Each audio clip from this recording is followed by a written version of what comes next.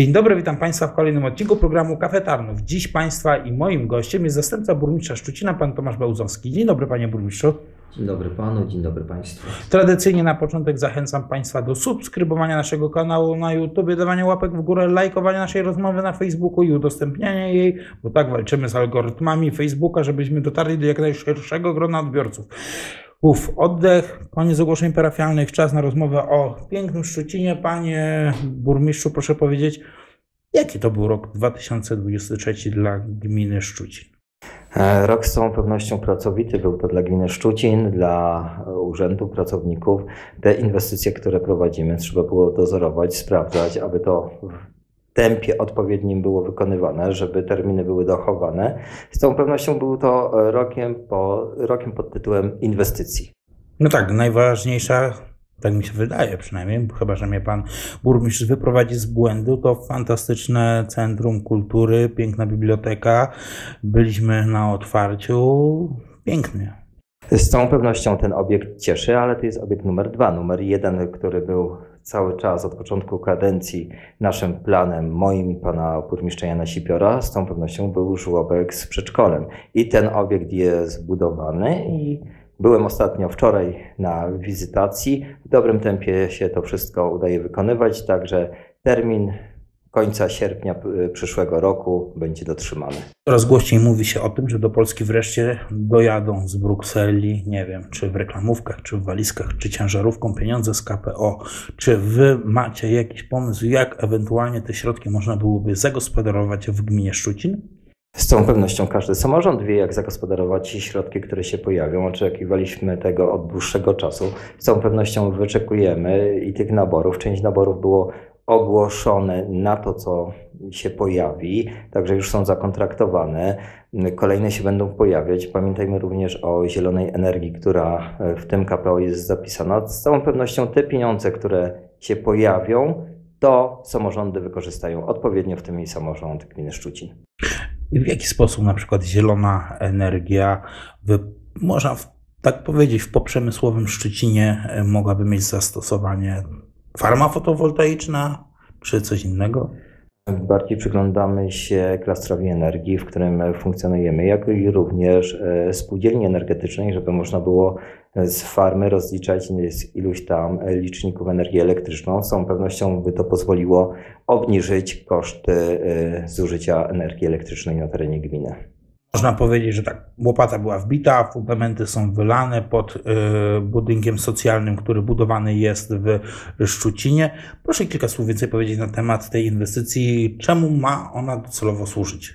Zabezpieczeniu potrzeb tych y, najsłabszych naszych mieszkańców y, lub ewentualnie osób, którym się jakaś nieszczęście przydarzy, aby można było ich umieścić. Będzie to budynek ośmiolokalowy, tym dwa lokale chronione. Z całą pewnością nasz zasób budynków mieszkań socjalnych zostanie przez to powiększony, a i możliwości e, wsparcia tych osób potrzebujących pojawią się większe.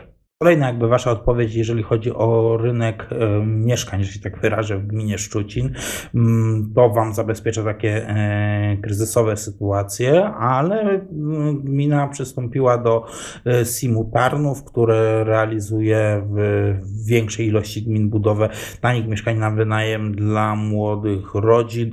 Proszę przypomnieć właśnie główne założenia, gdzie te mieszkania powstaną, ile, ile ich powstanie jakie jest generalnie założenie. To będzie blok, blok, dwa bloki, szeregówka? Może te założenia są takie, że będą to e, dwa bloki po 30 mieszkań e, w różnym metrażu, aby można były i kawalerki, i 60-parometrowe mieszkania znalazły, jak również e, tym miesiącu, końcówką tego miesiąca, rzutem na taśmę jeszcze w tym roku, będziemy aportem wnosić działkę do e, SIM-u, do spółki, która będzie realizować w naszym imieniu to zadanie. I dzięki wniesieniu tej działki do SIM-u aportem stajecie się z automatu yy, udziałowcami SIM. Powiększamy ilość udziałów w naszej spółce, w spółce 10 e, gmin, w tym i gminy Szczucin. A panie burmistrzu, będzie zainteresowanie tymi mieszkaniami, tymi lokalami? Jest Pan spotyka się codziennie przecież z mieszkańcami y, nie tylko Szczucina, ale całego, całej gminy. No właśnie, pytają się, kiedy będą te mieszkania? Jest jakby feedback ze strony mieszkańców? Tak, pytają o te mieszkania. Pojawiły się zapytania, jak już e, na sąsiednich gminach SIMy zaczęły prowadzić nabory. U nas też mieszkańcy byli ankietowani, pojawiły się te ankiety, że są zainteresowani, ale musimy również pamiętać, że e, w pierwszej kolejności nasi mieszkańcy będą zaspokajani w te mieszkania, ale również osoby, które chcą zamieszkać na terenie gminy Szczucin, również będą mogły skorzystać z tych mieszkań. Rzutem na taśmę 29 grudnia odbędzie się w Szczecinie sesja budżetowa. Będziecie mm, procedować i przyjmować, mam nadzieję, jednogłośnie najważniejszą uchwałę w skali roku, jeżeli chodzi o samorząd. Jak wygląda ten projekt budżetu na przyszły rok gminy Szczucin? Jakie są w nim najważniejsze zapisy? E, z całą pewnością najważniejsze zapisy to dotyczą kontynuacji tych inwestycji, które są teraz wykonywane, aby je zakończyć. A wiadomo, że budżet e, przyjęty jest ciałem żywym, w ciągu roku będzie modyfikowany z całą pewnością. Ogień plus. Na pewno będą na plus, bo już są plany, aby ten budżet zmieniać, także to jest tylko kwestia czasu. Faktycznie 29 grudnia my podejmujemy uchwałę dotyczącą budżetu na rok 2024, ale chyba większość samorządów w końcówce roku podejmuje te uchwały, aby rozpocząć już nowy rok od 1 stycznia z nowym budżetem, aby móc realizować te zadania gminne. Dobra, powiedzieliśmy sobie o kilku ważnych inwestycjach, które są na biegu albo które będą w przyszłości realizowane. Powiedzmy tu i teraz, co w 2024 roku będzie działo się na drogach w gminie Szczucin. Czekam na litanie ulic, yy, które będą remontowane, będą wymieniane nakładki, może budowane chodniki. Co będzie działo się na drogach w przyszłym roku? Całą pewnością będą wykonywane odcinki na ulicy 3 Maja w Szczucinie, na ulicy Ogrodowej, bo stan akurat tych odcinków jest jednym z gorszych na terenie gminy, jak i również e, ulica Zajezierza będzie remontowana. No i tam place, chodniki przy blokach na tak zwanym osiedlu POM również będą wykonywane. Także te inwestycje drogowe z całą pewnością będą się odbywać. Musimy pamiętać również o drogach transportu rolnego. Już wniosek jest złożony o dofinansowanie. Z całą pewnością te inwestycje już będą w przyszłym roku wykonywane. Panie burmistrzu, powiem tak, że zawsze mam z tyłu głowy taką smutną myśl, kiedy przejeżdżam przez różne miejscowości, gdzie dawniej była kolej, gdzie dzisiaj jest kolej, ale budynki dworcowe są zamknięte, opuszczone, nieużytkowane, niewykorzystane.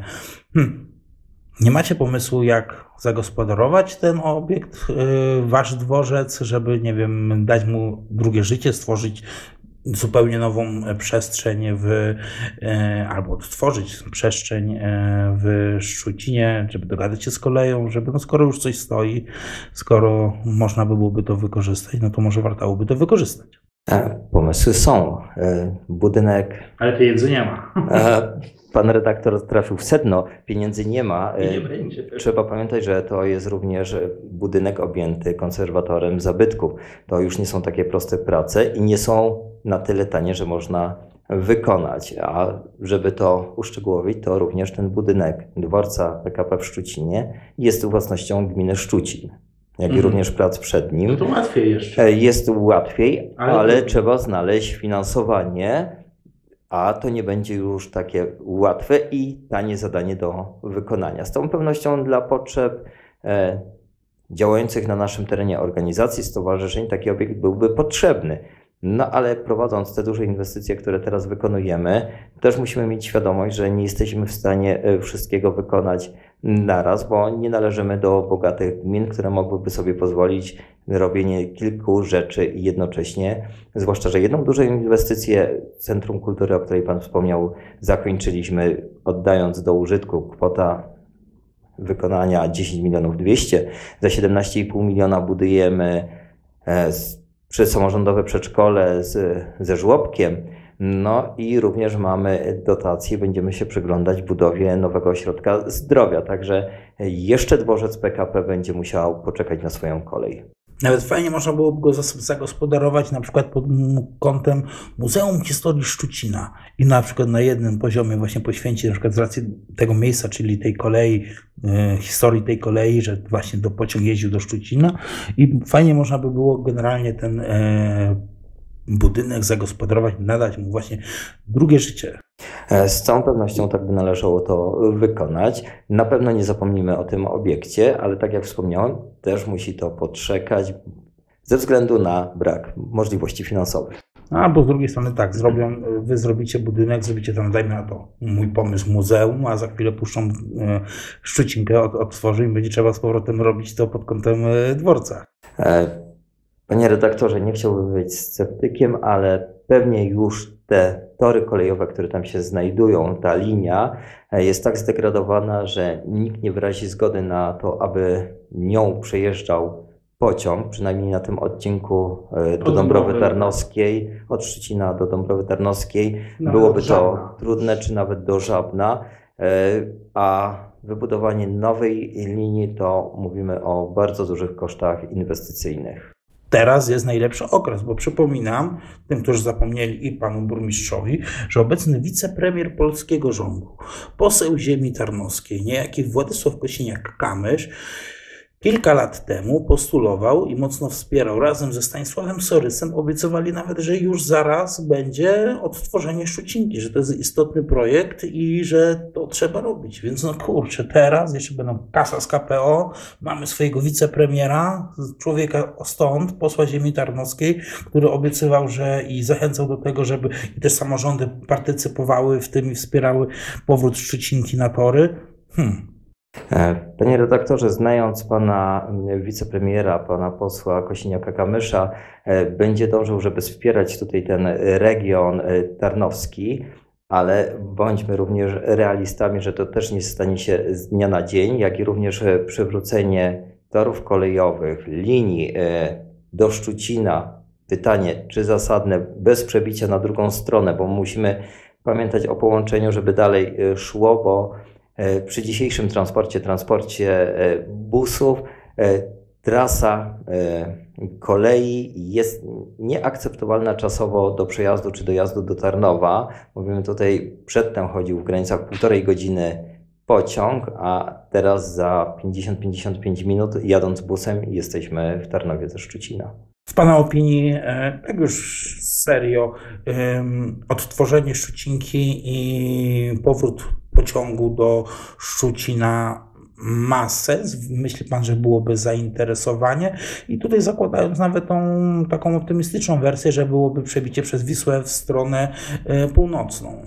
A pan redaktor mm, chce rozwinięcia tematu związanego z linią e, z PKP, z transportem kolejowym, to musielibyśmy się cofnąć do zasad funkcjonowania, żeby transport kołowy, który teraz jest wykonywany, transport ciężki, przerzucić na tory kolejowe. Takie były za, tak, takie zamysły były od lat, bo popatrzmy, e, naczepy z samochodów ciężarowych również są przystosowane do tego, aby część torów wykorzystywać pod to, żeby łączyć e, z pociągami i przewozić dalej.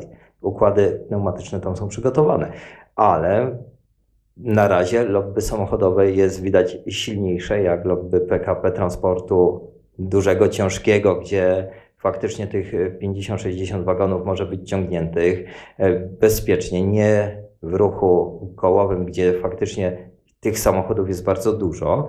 No ale to pewnie jest po stronie rządzących, aby podjęli stosowne decyzje, nie po naszej, dotyczące transportu, trans przekierowania transportu kołowego na PKP. No bo ja na przykład mam taką koncepcję w głowie, teraz rozmawiając, nie wiem dlaczego wszedłem na temat kolei w Szczecinie, no ale niezbadane są wyroki boskie, e, z racji tego, że jeżeli nieszczęsne CPK będzie ostatecznie mimo wszystko realizowane i będzie ta szprycha prowadząca do Tarnowa, to taką fajną nawet odnogą, od, i to miałoby według mnie taki sens, e, odnogą od tej szprychy właśnie mogłoby być połączenie do Szczucina, żeby mieszkańcy Szczucina też nie byli wykluczeni i mogli sobie pociągiem lokalnym, regionalnym dojechać czy do Tarnowa, czy do stacji, nie wiem, Żabno, Dąbrowa Tarnowska, w zależności, którędy by szła ta szprycha i stamtąd móc sobie właśnie jechać dalej na Tarnów, na Kraków, czy do Warszawy. E, zgadza się, panie redaktorze, ale jak mówimy znowu o kolei i e, transporcie szybkich prędkości, bo jeśli chcemy szybko i sprawnie, no to niestety te e, przystanki PKP nie będą co kilometr, dwa, No tak, tylko tak, będą, będzie Tarnów, będzie pewnie Busko-Kielce, No, ale E, łatwiej tak by to będzie przebiegało. Z całą pewnością łatwiej by było dostać się tutaj do, do Tarnowa i stąd y, czy pendolino, czy pociągiem dużych prędkości No moglibyśmy się przemieszczać. Ja sobie nie wyobrażam, że jeżeli na przykład byłaby ta szprycha zrobiona, że będą tam jeździły tylko pociągi Pendolino, tylko generalnie też kolej regionalna yy, również będzie z tego korzystała, bo umówmy się, no, mieszkańcom to nie potrzeba, żeby co godzinę Pendolino jeździło, tylko tak mm, ze 3-4 razy dziennie yy, takie połączenie, żeby szło, więc, więc, więc no, tory nie mogą stać też puste. Też nie mogą, muszą pracować na siebie. A połączenie nawet towarowe na północ, Dokładnie, bo więcej mówimy już w tym momencie o transporcie towarów, bo takie też były założenia CPK, żeby to był port e, cargo, cargo, e, hub przerzutowy, żeby przechodziło to część rzeczy przez nasz teren, na naszym e, rynku celnym, żeby to do nas dochodziło i stąd było rozprowadzane. Takie założenia są jak najbardziej e, trafione. No, ale to wracamy znowu, że nie my decydujemy, tylko decydują e, nasi przedstawiciele w parlamencie i życzę im sukcesu, żeby to się udało. Jeśli to by się zbliżyło do terenu gminy Szczucin, było w pobliżu i można by było skorzystać, to jestem za tym jak najbardziej. Państwa i moim gościem w kolejnym odcinku programu Kafe Tarnów był zastępca burmistrza Szczucina, pan Tomasz Bełzowski. Jeszcze raz wielkie dzięki za spotkanie, do zobaczenia po nowym roku.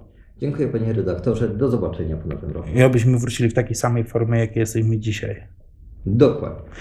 Państwa na koniec zachęcam do subskrybowania naszego kanału na YouTube, dawania łapek w górę, lajkowania naszej rozmowy na Facebooku, udostępniania jej, abyśmy dotarli do jak najszerszego grona odbiorców.